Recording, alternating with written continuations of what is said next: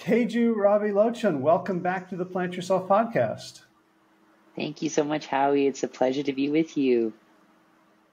So before we get to the reason that I reached out, because you know you sent an email about this really beautiful, wonderful story. Um, let's let's remind folks who you are, what you do, what you care about, um, just for maybe for folks who have not uh, consumed our, our first conversation. Sure. My name is Teju, and um, I I am the son of Indian immigrants, um, and I kind of grew up my whole life um, seeing an American perspective on things, and and then also seeing an Indian perspective on things, and um, and especially my uh, Indian heritage has taught me a lot about community, and of course my American heritage has taught me a lot about and you know the entrepreneurial spirit and agency and that sort of thing. but I think as I've grown older, I've I've I've longed for a kind of community where we all really look after each other and take care of each other, like I have seen in subcultures in the U.S. and also in India. And so, when the pandemic began, I started an organization called GatherFor, piloting in New York. And uh, the premise is in community we have everything we need. And so we have been organizing neighbors into teams of five to seven to support each other like a family.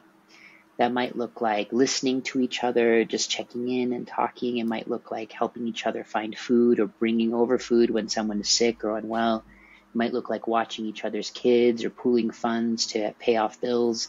Um, those sorts of things. Essentially, being there for one another through thick and thin, just like a family would. And then we link these teams of neighbors together in sort of a neighborhood safety net and help this whole um, group of, of neighbors to build the neighborhood and the community that they want to see. So we've been doing that for about two and a half years and um, still in our early days, doing a lot of experimentation to understand how we kind of weave this community fabric. Uh, but that's that's uh, what I've been getting to learn from and play with in the last few years. Gotcha. So there's there's a lot of um, sort of social science research that might suggest that this isn't going to work, right? like so, you know, the tragedy of the commons, or you know, everyone's worried, mm. like, you know, what you know, am I giving more than I'm going to get? Uh, what mm. if I don't like the people? You know, it's like you know, old communities. You were when I lived in South Africa, we had to be friends with our neighbors because when the when the fires came you needed your neighbor's truck with a you know mm. with, a, with water on the back and they needed like there was there was need it was not negotiable but mm. like living in new york it feels like every relationship except for maybe immediate family is kind of negotiable and you can come and go as you please what what have you found in terms of you know human nature and the structure of society that allowed people to to make these leaps of, of mutual support? Mm. That's a deep question. It's a good question. I I'm still learning about this. I think our cultural training, Howie, is exactly as you're describing that we should be self sufficient, we should be individuals, we should be able to take care of ourselves.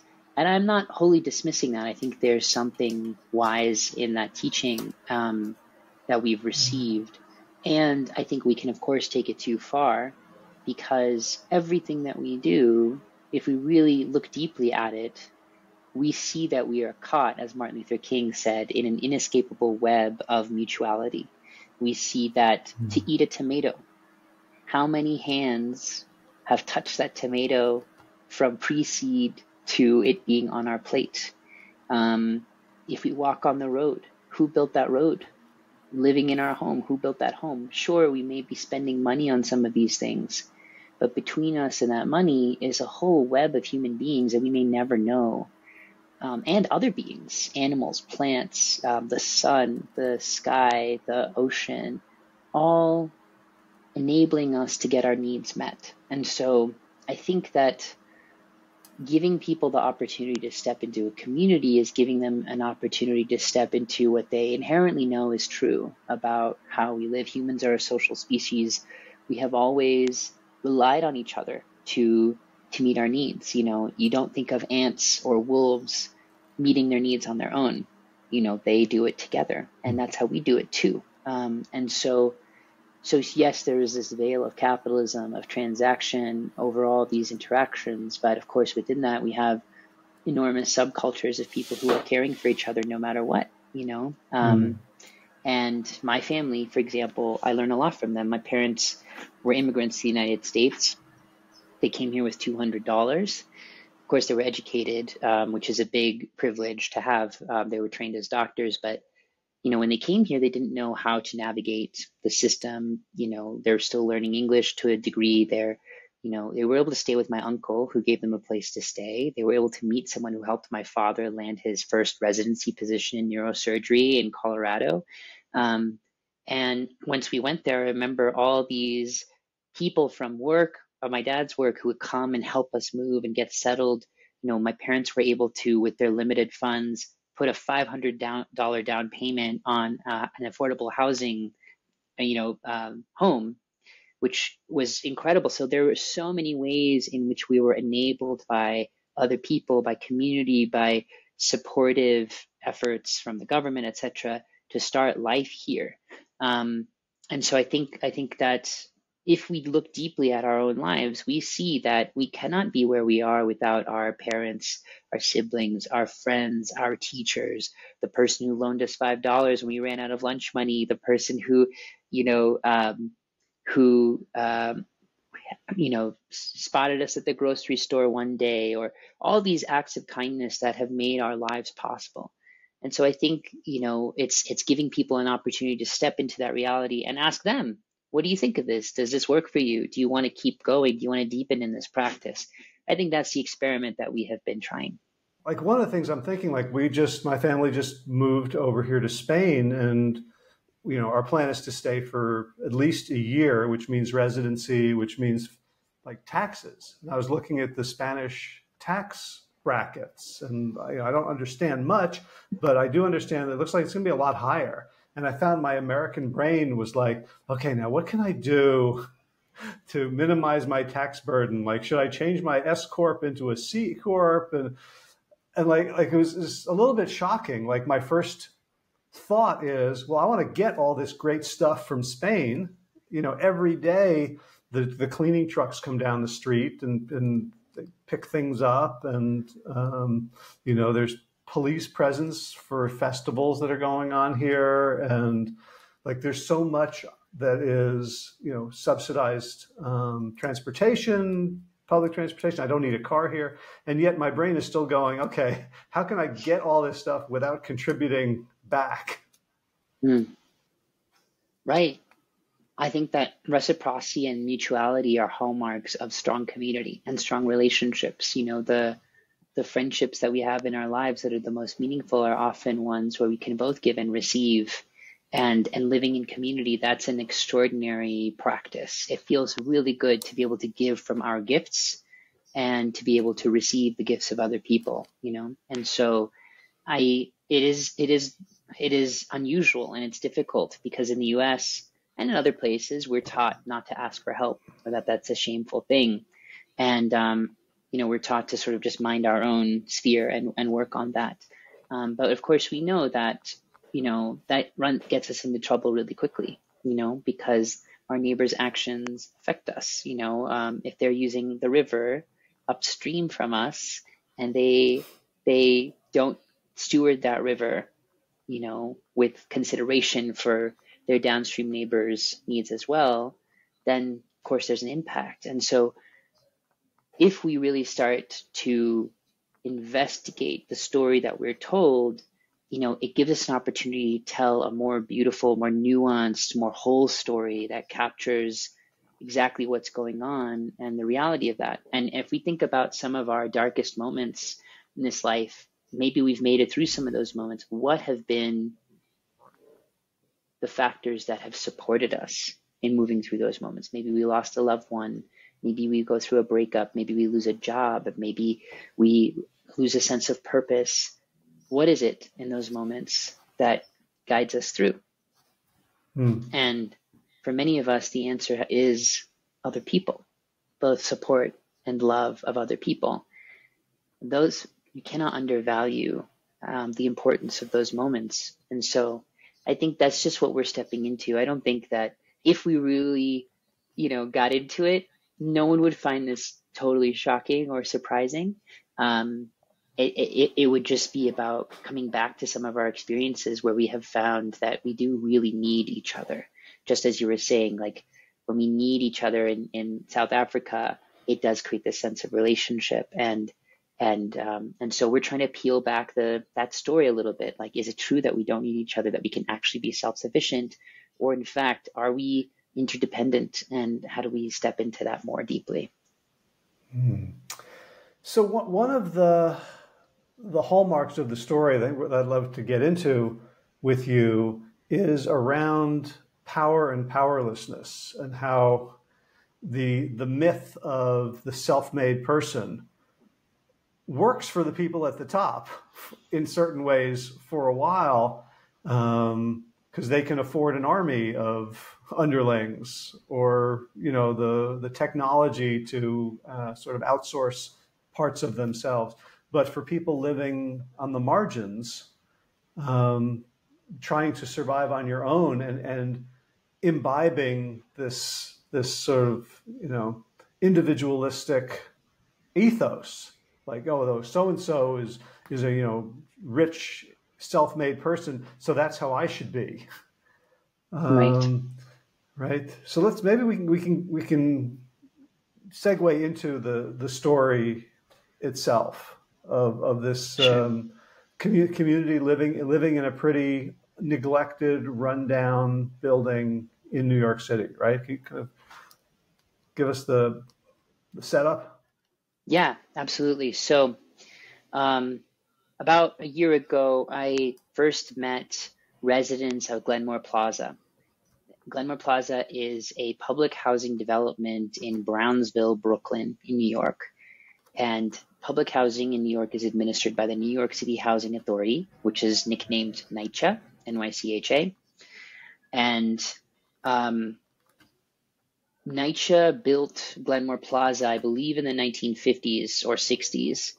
And at that time, it was this extraordinary, modern, beautiful building with this nice courtyard. People really wanted to live there. Um, and uh, and indeed, a lot of the residents who are still there today, you know, moved in in the 90s or the 80s or, or things like that. So they've been there a long time. They've grown up there.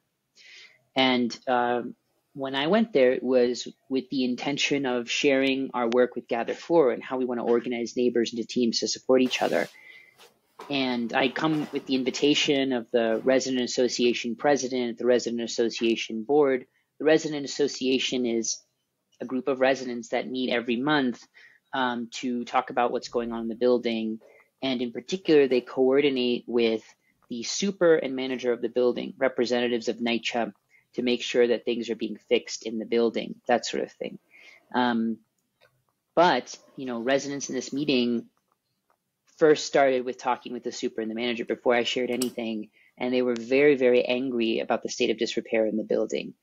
And the the super and the manager of the building responded by saying, look, all you need to do is is get a work order for any of the repairs that you need. Go onto the app, the NYCHA app, call our call center, let them know the repair that's needed, and follow the proper procedure or protocol. And sort of suggested that the reason that residents hadn't been getting repairs was because they weren't doing their job. They weren't calling the call center. They weren't getting the work order or getting their ticket number. Um, and one woman shared a story, her name is Barbara Cole, about how she had tried to get a ticket number and a work order on many occasions to have a grab bar installed in her bathroom. She has seizures and uh, she wanted the grab bar there to steady herself in case she fell, in case she was about to fall because she was having a seizure. Her doctors recommended this. And she told this to NYCHA about 30 years ago when she first moved in and NYCHA did not respond at all. And not only weeks went by or months went by, four years went by with no action from NYCHA. And she tragically had a seizure in the bathroom without anything to hold on to, fell, cracked two of her ribs, hit her skull, which was fractured, and required brain surgery. She spent months and months recovering. And finally, when she recovered, she contacted NYCHA again and said, This is what happened to me. Please fix this. Please install a grab bar.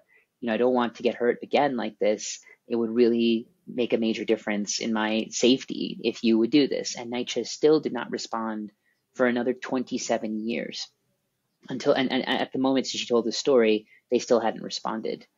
So she was sharing essentially, it's not just about following the NYCHA protocol.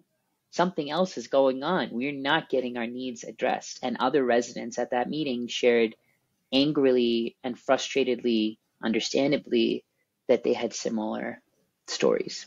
Mm-hmm. So and, can, can, I interrupt? Like I'm trying to put myself in your position.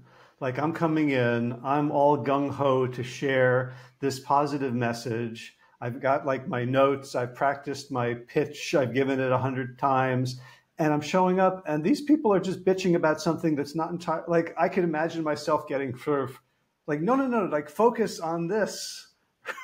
mm. Right? Like, like, like I'm, on your behalf, I'm, I'm, I'm feeling like I would not necessarily have had the grace to to to think expansively. So I'm, I'm wondering, like, mm. as you were listening to this, like, was what was sort of going through your head as your agenda seemed to have been, you know, s- subordinated? Hmm.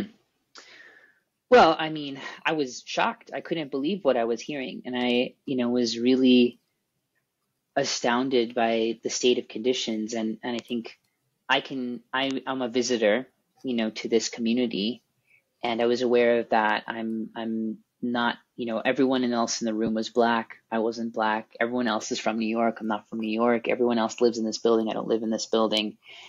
So, you know, when you go to a new country, for example, and you are a foreigner, maybe some of us, at least, there's some kind of awareness of we don't speak the language, we don't know the customs, we don't know, you know, so we're trying to attune and trying to take clues from the people that are there. Whatever our agenda or our goals, you know, there has to be this openness, this humility to recognize that we don't know the story. We don't know what's going on here. And so I was there as much to learn what's going on in this community as I was to offer this idea that I had. And when it came time for me to present, I did start presenting and nobody was listening because they were very upset about the interaction they had just had with the manager and the supervisor who didn't really seem to hear them or listen to them. And so I asked if we should take a break. We took a break. We came back and I, I again started giving the presentation, but it just wasn't really landing. So I just started asking questions like, so this repair issue has been going on for a while. You know, what have you all tried to deal with it? Have you ever tried coming together as a community and speaking with one voice to NYCHA? Do you think that would be effective or not? And a lot of them shared that they had not tried that, but there was not a lot of trust and interest in connecting, you know, among the residents. Um, people were in and out of the building. They were transient. They had different schedules, different lives. And, you know, there was a lot of vandalism, safety concerns in the building. People would sometimes sleep in the hallways or in the stairwells. People would be passed out with heroin needles in their arms. I mean, these are the projects of Brooklyn. These are these are, are places that people who live there don't feel safe. There's gun violence, there's sexual harassment and assault that happens in the halls and elevators.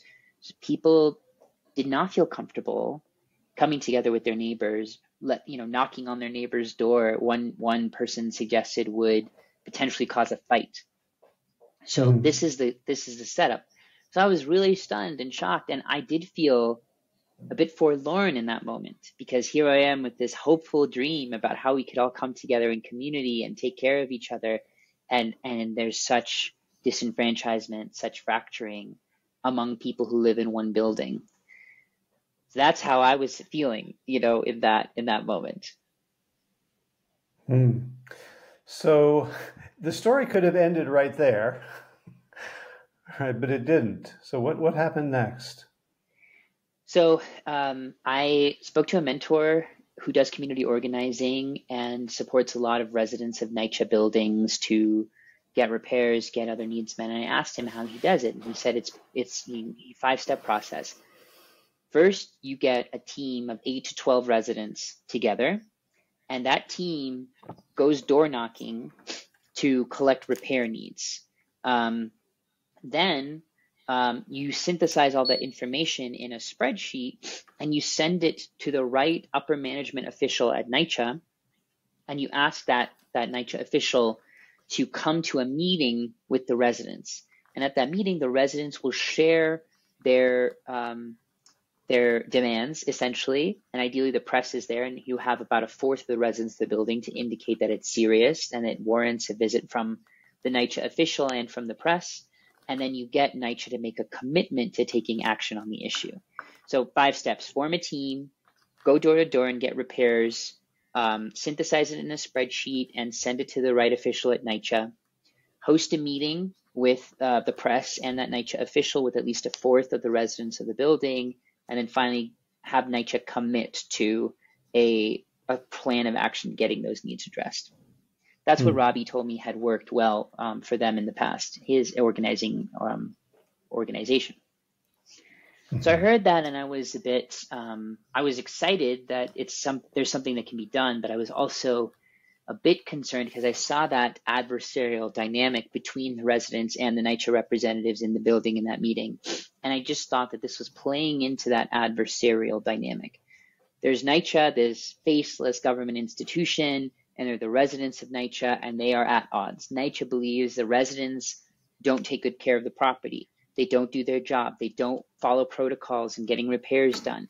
You know, meanwhile, they're understaffed, under-resourced, overwhelmed, dealing with 177,000 apartments. They're the largest housing authority in all of New York, and they are, according to them, $78 billion underfunded to do the job they have to do. And they feel like every time they do something, that they think is good or is right, they're met with more needs, more frustration, more um, um, frustration. They are not getting any appreciation or gratitude anytime. And so there are humans who work at NYCHA, and that's, you know, that's a hard thing to sit with. On the other hand, you have residents like Barbara Cole who are potentially going to die if these repairs aren't made. You know, that's how serious the lack of repairs are. People are breathing in mold. Children are breathing in mold or lead paint. Um, you know, their walls are soft to the touch and might fall apart. There's rats running around their apartments and in their in their in their trash cans and and and they don't feel at ease or safe at home and so of course they are upset and hurt and in pain and frustrated and feel powerless. This is what this is what's going on. And so this group is trying to get this group to do something, and this group is under resourced to do the job essentially. So that's the dynamic. So then I had a friend who named Jordan Reeves, um, who I was just chatting with casually about totally unrelated topic, who happened to tell me the story of, of how when they were living in Williamsburg in 2017, they as a as a um, queer, trans, non binary person would walk home from work and often be harassed by other people in the neighborhood. And um, it was such a problem that they tried to approach the cops.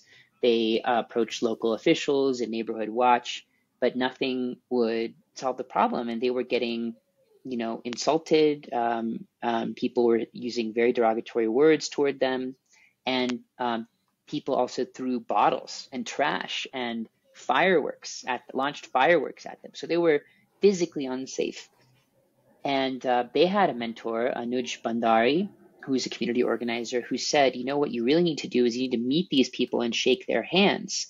And if somehow you could do that, then maybe this issue would stop for you. So this sparked an idea for Jordan, which was to host a block party. And so they got Whole Foods to donate pizza and Shake Shack to donate ice cream, and they got waters, and they you know, talk to people in the community about what they'd like to see in a block party. And they had this beautiful event. They called it Kindness Party. And they had kids and people like draw kind messages of chalk on the sidewalks, and 400 people came. And uh, indeed, Jordan met their abusers, um, their harassers. And they said to Jordan, You did this? Like, this is amazing. No one has ever done something like this for our community. And they shook hands. And ever after that, they never harassed Jordan. They in fact defended and protected Jordan from other people in the community. Mm. They would sometimes escort or walk Jordan home so they get there safely. They would say, "Hey, how you doing?" It changed their relationship and it made a lot more people in the community feel safe. So I heard this story and I was like, Jordan, this is absolutely incredible. And it made me think about what would happen if we combined the community organizing framework that Robbie gave me and this kindness party idea that Jordan shared. And then we tried this to help bridge this divide between NYCHA and the residents, and it worked extraordinarily well. So we got eight residents um, in the community together. It was hard to get them to volunteer, but we got them to volunteer. And they call themselves the Glenmore Proud because they want to be proud to live at Glenmore again. And they went door to door and they collected the repair needs of over 100 apartments in the development. And um, and they we put it all in a spreadsheet. We sent it to Dan Green, who's the executive vice president of property management operations at NYCHA. He's in charge of repairs for all of New York NYCHA houses. And he and we said we're going to throw a block party in three months to celebrate you, NYCHA, getting all these repairs done. the community is going to be there. The press is going to be there. All you have to do is do the repairs. Will you do it? And NYCHA said yes. And over the next three months, they worked in a, at a pace the residents had never seen. They made they responded to over 1,626 work orders. They responded to 90% of the repair requests that residents had made in that time in two months. They um, they moved at three times faster, at least, than they had moved at their fastest pace in making repairs. Um, and and Barbara Cole, that woman who didn't have her grab bar installed, got her grab bar installed within four days. People who had been waiting five years for pipes to be fixed finally got their pipes fixed. Um, people who had been waiting for painting or door replacements or lock replacements or um, tiles that were falling down or mold removal, all have got those things fixed. NYCHA moved extraordinarily quickly in getting it done. Um, and then on the day of, of, kindness party, they came out. We had about 400 people there as well. We had free food that our community members cooked. Um, we fed the people in the residence. We fed people from nearby homeless shelters for free. We had resources from mental health support to childcare support to rental assistance uh, from different partner organizations. We gave away aquarium tickets, $50 Target gift cards. We just had this amazing gathering. The um, assemblywoman came, um, the city council member's office showed up and gave a check of $422,000 to the residents to support repairs to the doors in their building um, it was it was an amazing success, and it it really all hinged on this insight of accountability through celebration, inviting NYCHA into a team effort instead of demonizing them, breaking through this animosity between the residents and NYCHA and moving toward true collaboration, true teamwork. Um, that's what that's what ha- wound up happening. Hmm. So it seems so simple, and part of me, I think, and part of people who are listening to this are going to say, like, "Oh, I get, I get why that worked," but there's also a part of me that's like, "I don't know why that worked."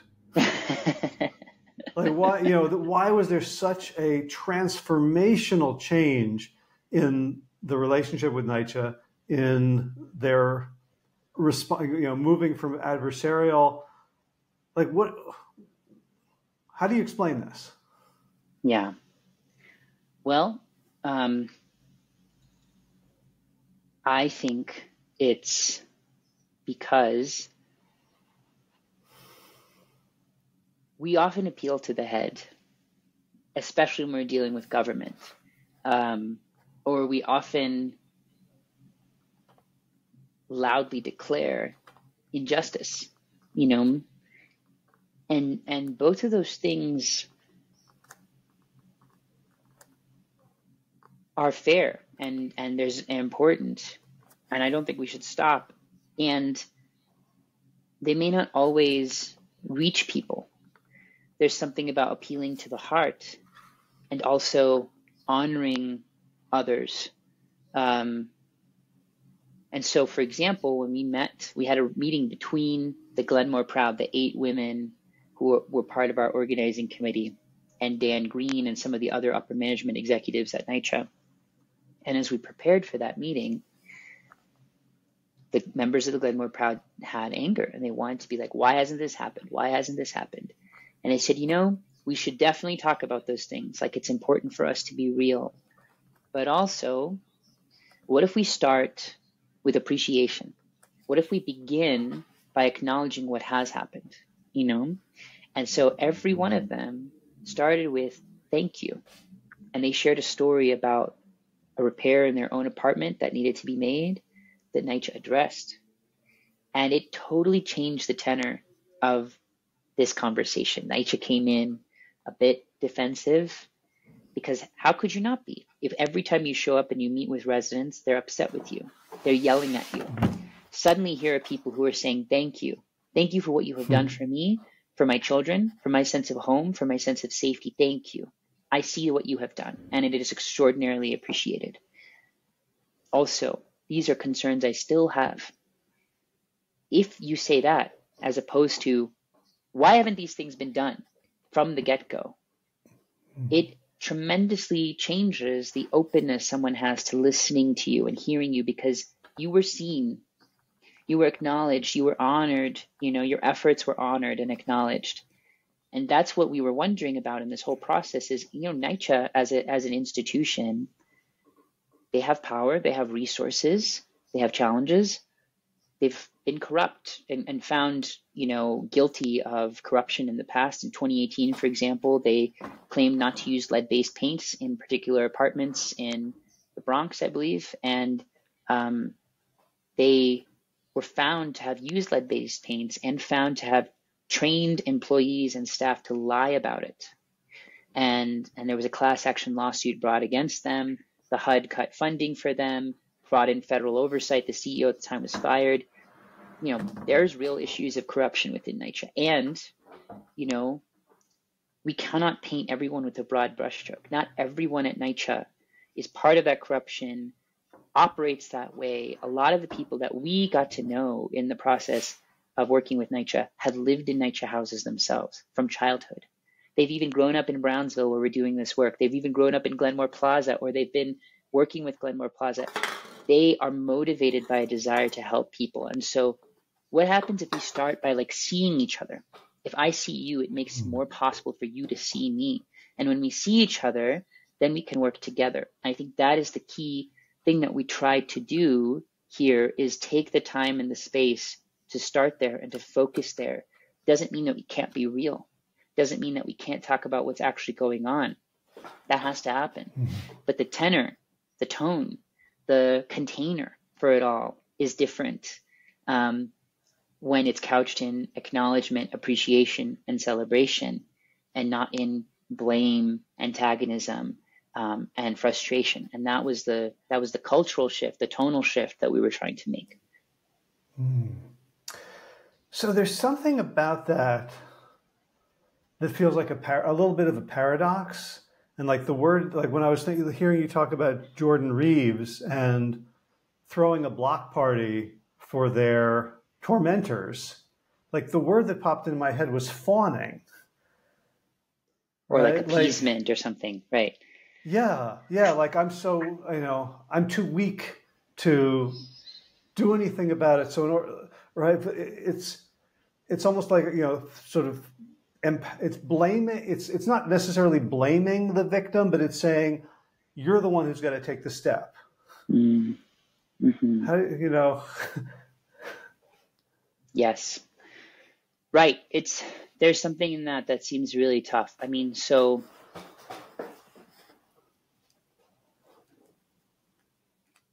think that, I mean, this goes really deep. This goes really, really deep. I think that why is it that someone would throw bottles at somebody else? Why would they throw trash at somebody else or shoot fireworks at them or make them feel unsafe? And, you know, we, that is not okay. That's not acceptable. But, you know, when you exhaust the options that we normally rely on of force, of punishment, etc., and you find that they don't work, you know, you don't have that recourse. You know, what are the other options that you have? Well, maybe you could carry a gun, you know, flash that around a little bit if people harass you. Um, and and of course, if you do that, you know, then what will happen? Um, what happens next? And so I think this is always the this is the difficulty that we find ourselves in this sort of arms race, this quest for increasing power, this quest for increasing dominance, the ability to display our strength to, uh, to prevent people from attacking us.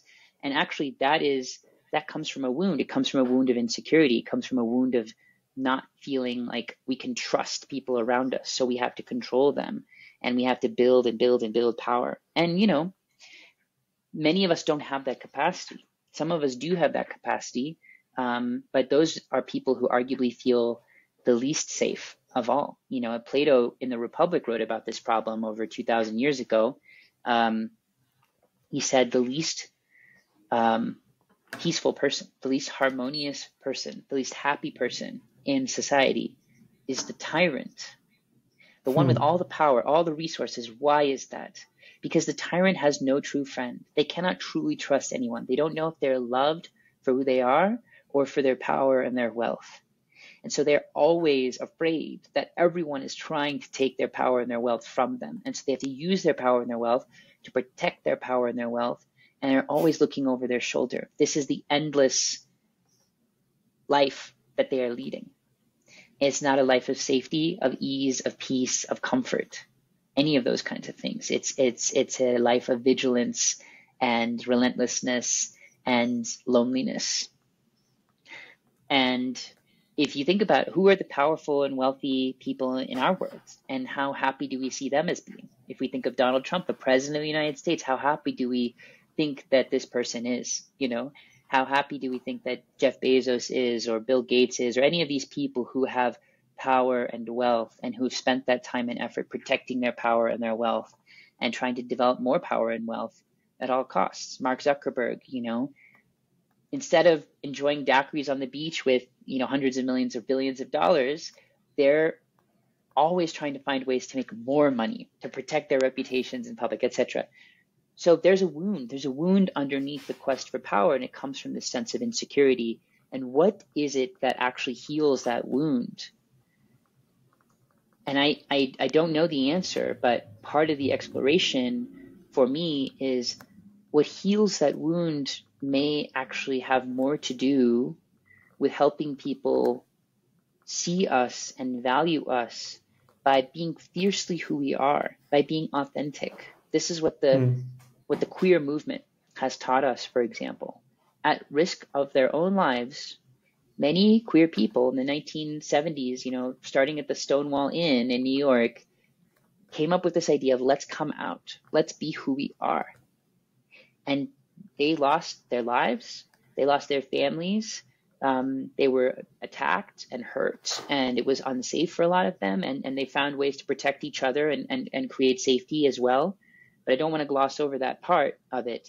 But then also, suddenly you're a congressperson with a nephew who is gay. Suddenly you're a carpenter with a daughter who's trans. Suddenly you are are you know people who you love and who care about who are who are queer. And you have to wrestle with your worldview and loving them mm. and accepting them. And there's something about that that is shifting and changing our culture. And that cultural shift is making queer people today safer than they were in the 1970s and did they have the options of amassing military force or or, or you know having their own media outlet and, and all of these other things? No the most powerful thing that they could do was to be free, to be who they are. And so I think that actually the, the truest practice of power is to see and be seen and to form such deep connection and trust with people that we know we are held in safety and in care. That if you hurt me, you don't only hurt me, you hurt everyone in this community and you hurt yourself you take my life, if you spit on me, if you insult me, if you if you attack me, you will lose the trust and the care and the connection of all the people who are in this community who might hold you and care for you. That's what I think increasingly we have to work toward. And is it naive and idealistic? I sometimes fear that in saying this message, it will land that way with people. But that's what I'm learning from what we have done. I mean, again, if we look at like from uh, that's what I'm learning from like ancestors and historical teachers. If we look at the at the civil rights movement, You know, there were, of course, people within the movement who wanted to, um, you know, who wanted to build an army and create a new United States. And I think there are probably still some people who want to do that, who want to arm themselves and and fight the power in that way. And and I understand that, and I don't fault it at all, given the way that we have continued to treat people of country and uh, color in this country. Um, but what wound up being more effective, perhaps, was this approach of like, this is who we are, see us, and ask yourselves, you know, like, is this who you want to be in how you treat us and how you relate? And indeed, you know, when the US was trying to build allies during the Cold War and they went to other countries to, you know, and those countries were like, how do you, how do we know that you will care for us or be a good partner to us when you treat your own people of color so poorly? Um, and it became something that because the civil rights movement had made visible the injustice they were facing, you know, the United States shifted policy. So I think the point I'm trying to make in a lot of words is there's extraordinary power in authenticity and there's extraordinary power in starting by seeing someone else so that they see you. And I think that's that's why this work is very, very important, um, even for marginalized people to do you know, Paulo Freire writes in Pedagogy the Oppressed that the people who are most likely to challenge reality are the people who are marginalized and oppressed because it's not working for them. They're not just going to accept things the way they are. And they are best positioned to do so, in fact, because they they know a different way is possible and they are imagining alternatives all the time. You know? So hmm. I think that's that's part of part of this work is honoring the gift sometimes of experiencing oppression and what it teaches us about resilience, what it teaches us about power. You know, as a last point, if you lived your life, if there's, let's say there's two rooms in a house, one room with light and one room in, in the darkness that doesn't have light. If you have lived your whole life in this light room, you are very afraid of going into the room of darkness. Hmm. You know what it's like to live in there, right? But if you lived your life in this room of darkness, you can freely move back and forth between the, the room in, that's in the dark and the room that's in the light. If these are the people who've experienced oppression, marginalization, powerlessness, etc., and and, and I, I, won't, I won't call it true powerlessness. It's sort of a um, the narrative of powerlessness. There is a there is an extraordinary power and capacity they have that many people who are privileged, who have never experienced this kind of oppression, do not have, a freedom that they have. And and and that's that's that's part of what's going on here, you know, is I think when Jordan, you know, stands up for who he is and says, it's okay for me to be who I am and not to fit in this narrow box, this narrow light room. I can be all these things. I can go back and forth to these places. That is even more free you know so there's a gift and a power in that experience sometimes i think of growing up and finding an, an oppression and finding resilience and finding the ability to be able to hold that and keep moving hmm. so what came to me while, while you were sharing that is especially when you're talking about um, you know the people who have experienced oppression and marginalization are the ones who are most open and available to new possibilities. Um, a year or so ago, I had someone on my podcast, a social scientist and psychologist Todd Kashdan, who wrote about systems justification theory, which is the idea that the people with the least, with the with the least, are often the most bought into the system because they have the most to lose if it goes down. Hmm. And hmm. what what occurred to me is that that's probably true until you bring your ethos into it. Because if you know, if you're like when I was listening to you describe the um, the, the, conditions in Glenmore Plaza, like I just kept hearing it from a polyvagal neurological perspective. Like you're in constant fight or flight. Yeah. And what I heard happening is that through trust, through community, through a lens of appreciation, that people's nervous systems were able to relax. And, you know, when you're in fight or flight, all you're doing is looking to avoid bad stuff. when when that calms down, your natural creativity and generative capacity and ability to see bigger horizons naturally comes online. And I'm wondering if that's if that's how we can can um, kind of resolve that paradox of you know poor powerless people sticking with the leader as opposed mm. to acting in their in their true self interests. Gosh, yeah. This again, this goes really, really deep, and and and it's so complex. And I don't, you know, presume to have the truth about any of this. And I, you know, my perspective is one of of many. You know, as we're trying to find our way, you know, and part of a collective movement of people who are trying to find our way, you know, together, and and even trying different things, and even contrasting approaches sometimes. Um, I do think that there is you know, there's a, a writer, Brian Stout, who I really appreciate, and he says that there's three fundamental disconnects or pains in our world today. That is a disconnection from ourself, a disconnection from our community, and a disconnection from our earth. And in order to keep power, dominator cultures, whether that's white supremacy or patriarchy or capitalism or any of these kinds of imperialism, they work to disconnect us from those sources of power self, mm-hmm. community, earth. When we can't grow our own food, we need to depend on the system of markets and and big ag and that sort of thing to have food, you know.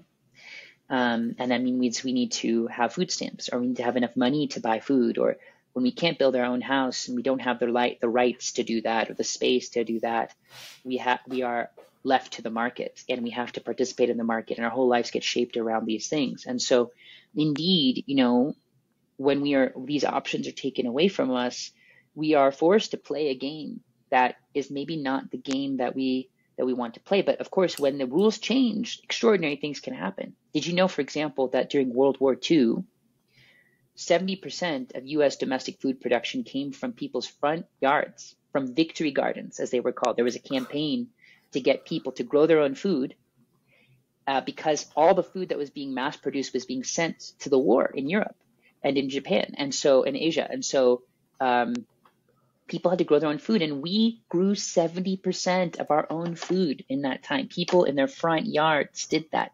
We have forgotten this story and we have forgotten that skill and we have returned to you know beginning in the 1950s the tv dinners and the and the you know all these uh, this big culture around agriculture and, and and participating in that system because you know we can really quickly wipe away alternatives we can say this was a thing we were doing during the war but we're not doing it anymore yeah. and so reconnecting to those to those three things the earth our community and ourselves is really important how do we reconnect to ourselves we have been taught that we don't have power. We have been taught that we must be individual and self sufficient, which is part of a campaign to disconnect us from our community and the earth.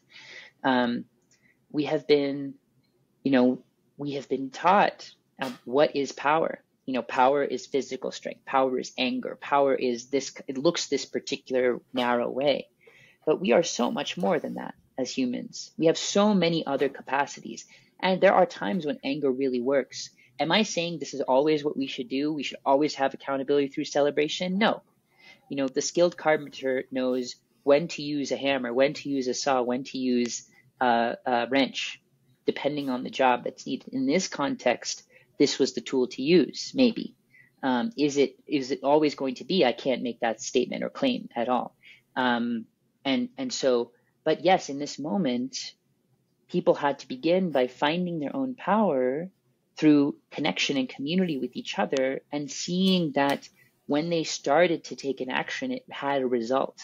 So now this community is transformed. The culture I was telling you in this building of people not wanting to knock on each other's doors, that changed. People are hugging each other.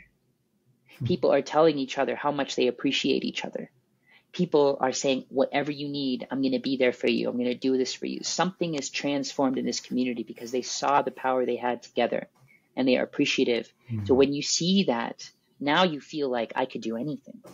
That is a danger to the powers that be, for example. Unless you say, look, we're building this new world and you're part of it too. We want you invite you, we want to invite you into it too there might have been hurt and pain. It's not like we can just forget about that. We need to heal from that. We need to have accountability for that, you know? Um, but that I think is what we have been trying here in our own small way in this particular context, you know, and that's, I think, I do think it is a big, you know, nervous system shift for people to go from that frustration, anger, fight or flight to I can be in my body. I can see, I can feel a little bit more ease here. I have more space to imagine. And now you know what the, mm. the residents are planning? They're saying we can use everyone's gifts here. We have seniors, we have kids. What if we had seniors and kids make signs that help people understand the behaviors that can maintain our building now that it's been repaired? Prevention is better than cure. So if we all take our trash to the trash compactor, we will avoid rats coming back to our apartments. If we can help people understand, you know, not to dump grease down their down their sinks, you know, that gums up the plumbing down the road and and we'll have leaks and those kinds of issues. So if you see a child who with glitter and crayon has a sign in the hallway that says, I live here and I love clean water. And I, you know, if we gum up our pipes by pouring in grease, you know, that's going to hurt us. So cease the grease, you know, whatever it might be. But like, if that's the next idea that they're imagining, they're coming up and they want to tell their story to other developments, other in, in the, in the building.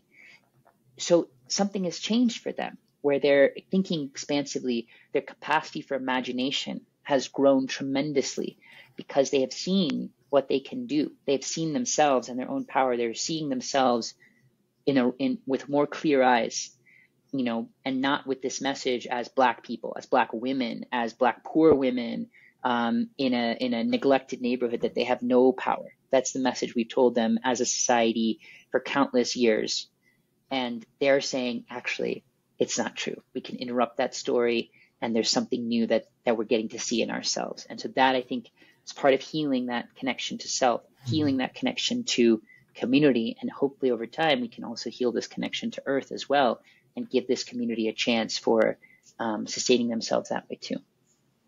Hmm. Yeah, it's almost like you, in order to change your stance, you have to give up everything and nothing. Say more. You have, to, you have to, you know, I think about like time, like just applying it to my own personal life, like times when a, an apology was the best thing I could do. Mm. And boy, was that going to cost me. Boy, was I not going to do hmm. that. Mm. And yet, and yet it costs nothing and it gives me the world. And so mm. to be able to say, okay, I'm going to extend like when you talk about the two, you know, the two different rooms, the black room, the dark room, and the light room, um, that that like what power looks like, if I choose it, is the choice of kindness. Mm. Right. So I'm, you know, I'm thinking a little bit of Martin Luther King Jr. here. I'm thinking of Gandhi. Um, one, I don't know. Do you know the book uh, Shantaram? Oh, I love the book Shantaram right? The first paragraph when he talks about, um, you know, he's being tortured, chained up, and he says like, what what what it comes down to is, I have the power to hate my torturers or to forgive mm. them, and and mm. and and that was and that difference was everything. Mm. It's like I'm hear you saying that rather than fawning and appeasing and giving over our power, what you're talking about is really claiming it to, to, to the health. Absolutely. That's right. And, you know, the Buddha, someone once came to the Buddha wanting to kill the Buddha, you know, and they brought a big stick in order to strike the Buddha hmm. down. and the Buddha said, Hey, you know, I know that you're about to give me something, maybe give me a blow, you know, fine. But let me just ask you a question. You know, what happens to a gift that the receiver refuses? And the, the person said, uh, I guess it stays with the giver, the person who wants to give it. And the Buddha said, I refuse your hate. Hmm. And it really, then it was this moment of this person saying, like, oh, this hate is with me, you know, and they drop the stick and they, you know, and, and that's, you know, this isn't about appeasement. This is about saying your message that I am not that I do not have power is not true. Your message that I don't belong is not true. I'm something luminous and incomparable and unique in this world and and I get to express my love for my home and my family. I also get to express my my desire for safety and well-being and I get to express to you who has the power to do something about this situation that I appreciate you for what you've done and I also see you can do more and I invite you to step into that. You know, that is very different than oh, let me just give you whatever you want or let me you know let, let me just accept the script that you've laid out or the dynamic you've laid mm. out that's very different so the opposite of of fighting back with force is not um, is not something like you know because when you fight with force in fact you are accepting the premise right that the that someone attacking you is putting forth. They're saying, these are the rules of the game. I don't like you and I want to hurt you, you know? And you say, okay, I accept the premise, so I'm going to fight you and I want to hurt you now. Like that's, mm. in a way, you have appeased. You know what I'm saying? Mm. And when, when you uh-huh. say, I'm not going to accept that whole story at all, that story is wrong. I'm going to throw a kindness party. I'm going to shake your hand. I'm going to show you what I can do for this community and and then you can you can then tell me you know what game you want to play now like do you want to keep playing this game of throwing bottles at me when i did this for this community you know hmm. that you hmm. live in that you're part of that you now feel more safe in that you got free resources from is that what you want to do like i fed you from this is that what you want to do who must you be in order to do that is that who you want to be that is an extraordinary act of power that's saying i have hmm. the freedom of mind and heart to take the script that you have given and say no, and there's a new script I want to offer. That I think is that's the power that we're talking about here. Wow, goosebumps. So people people will want to hear more, they will want to follow your work and your writing and your thinking. How can they do so? Um, yeah, well, uh, you could check out our website, gatherfor.org or you can check say, out say, our. Say, say, that. Say that a little slower and spell it, please. Sure. I'm sorry. Uh, gatherfor.org is our website. So F O R gather for. Yes. Yeah. Gather F O R one word dot O R G. And um, you can also check out our Medium page, gatherfor.medium.com, um, where we I've, I've written a bit about this story. I'm going to be writing more about it as well. Some of our work, some of our our inspirations. Um, you know, you and I, how we talked before about the Blackfoot and um, and how they've inspired us, their practice of community and collective care.